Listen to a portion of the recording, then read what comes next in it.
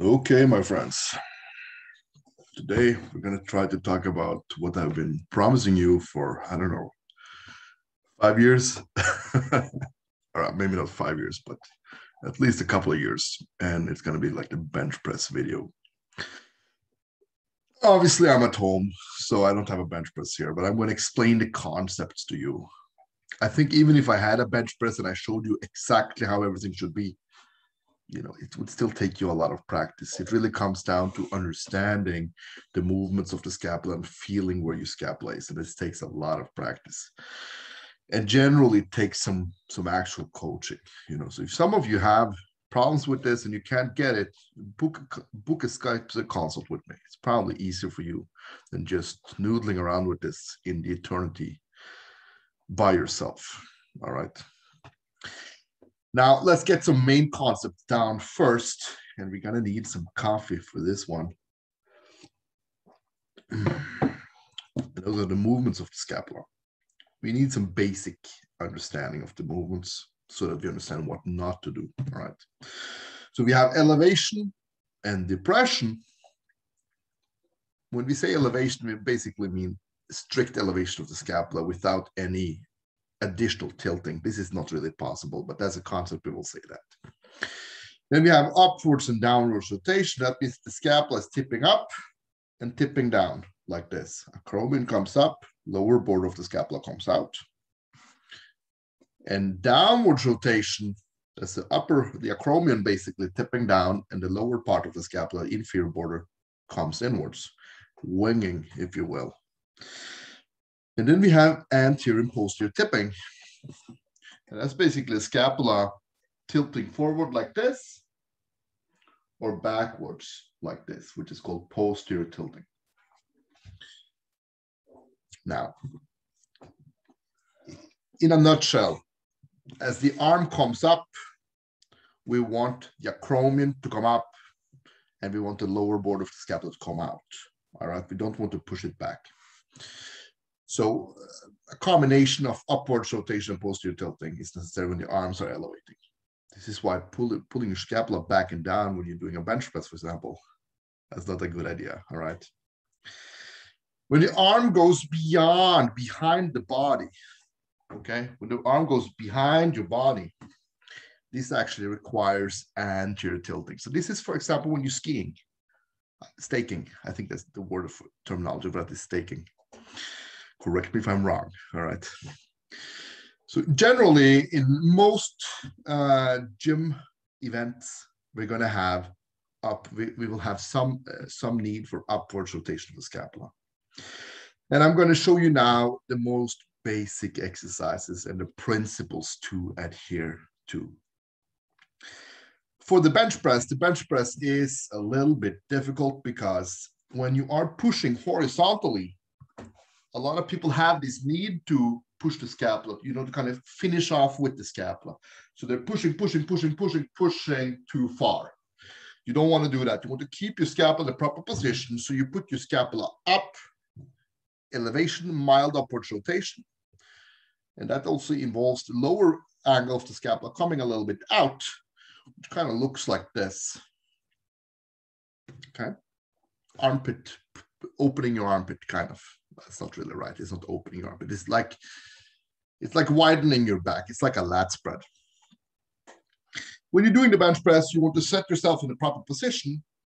Slight elevation. See if I drop my clavicle, I have at least a couple of centimeters, like an inch, between the collarbone and the nerves. That's a good idea. Okay.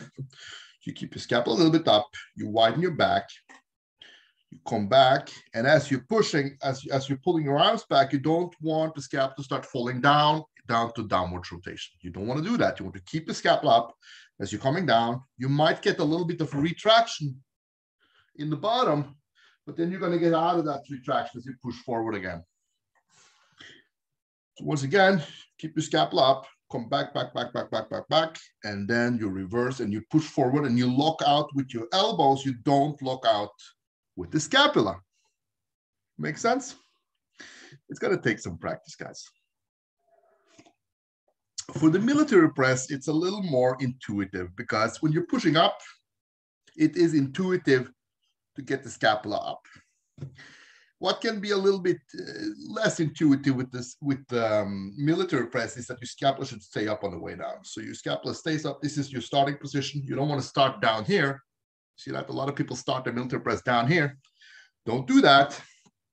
Collar bone is going to be jamming the nerves, and you start in downward rotation. And of course, you see I get winging. You see that? I get horrible winging.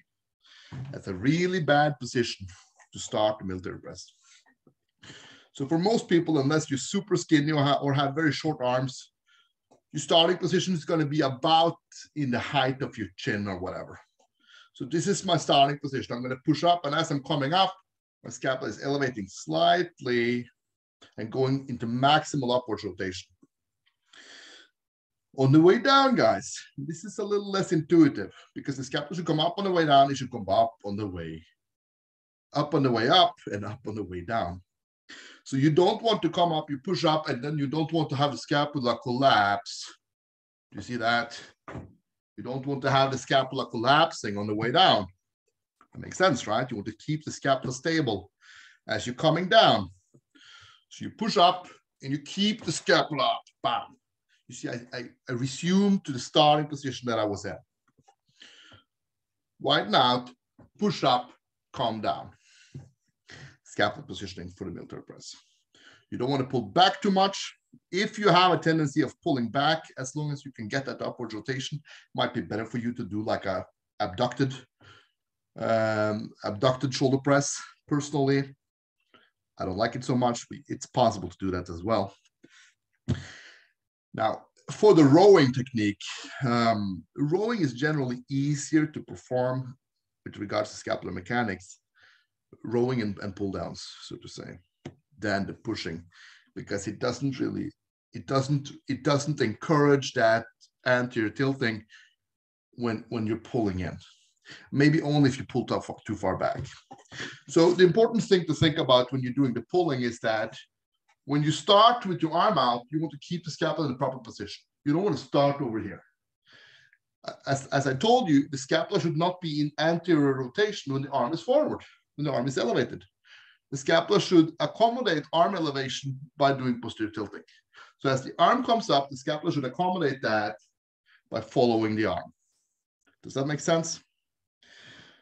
So you start in approximately this position. I'm not pulling back and down. I'm just holding it. I'm holding it in a similar position to the start of the bench press, kind of, all right? And from there, I'm pulling to here. Why am I not pulling further? What about full range of motion? Guys, this stuff is making me crazy. Your teres minor, your teres, sorry, your teres major muscle, which is, you know, big part of the pull, it stops parallel to the scapula. So as I'm pulling in, this is as long, as far as I can go with regards to contracting the, the teres major. If I surpass this, now pay close attention, guys.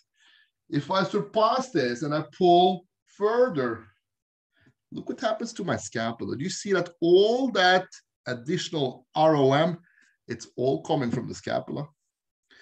And it's all coming from faulty faulty scapular movement. Do you see that? Proper scapular position, right? Pulling in.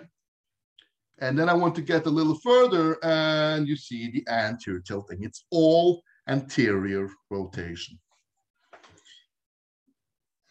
All right, it's a little bit complicated, but in brevity, keep your shoulders up. Don't push with your shoulders forward to lock out the bench press. Keep your shoulders stable, push forward, lock out with your elbows. You don't want to fall too far back also. You don't want to you don't want to be over here. Keep relatively neutral. A nice and wide bench pillow is, is good. If you don't if you don't have that, you know, then you have then the serratus have to work more, which is fine if you have decent control, and it's a, not a good idea if you have poor control of your scapula. So in the beginning, at least, it, it might be better to either do push-ups on an incline or to do um, or to do um, to have a wider wider bench pillow. Shoulders up, proper scapular position. You push and you lock out with your elbows. You don't lock out with your shoulder blades. Military press, come up, keep your shoulders up on the way down. Don't start down here.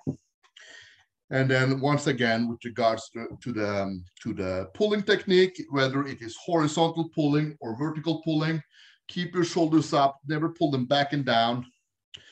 Keep your shoulders in proper position as you as you pick the bar. Don't come over here. You don't want your, your shoulder blade in anterior rotation or downward rotation as your arm is elevated as an impingement position. And pull to the maximal contractibility of the teres major muscle, which is parallel to your body. If you surpass that, it's going to compromise your scapular positioning. So I hope that makes sense. Maybe in another couple of years, I will actually get a proper bench press video made for you guys. But first, I will see if you stop complaining when I put this one out. If you do, there's not going to be another video, so we will see but I hope this was helpful. Uh, it's an interesting topic. It's it's a very misunderstood topic as well. Scap, it's not so easy that you can just push your shoulders back and down. It's much more complicated than that. You need to understand the mechanics of uh, the biomechanics, healthy biomechanics of the shoulder blade, but also the, the healthy mechanics to avoid nerve impingement, to get the proper, to get the, the healthy, healthy training technique. Okay. So I wish you all a great day and tell me what you thought about this video in the chat box.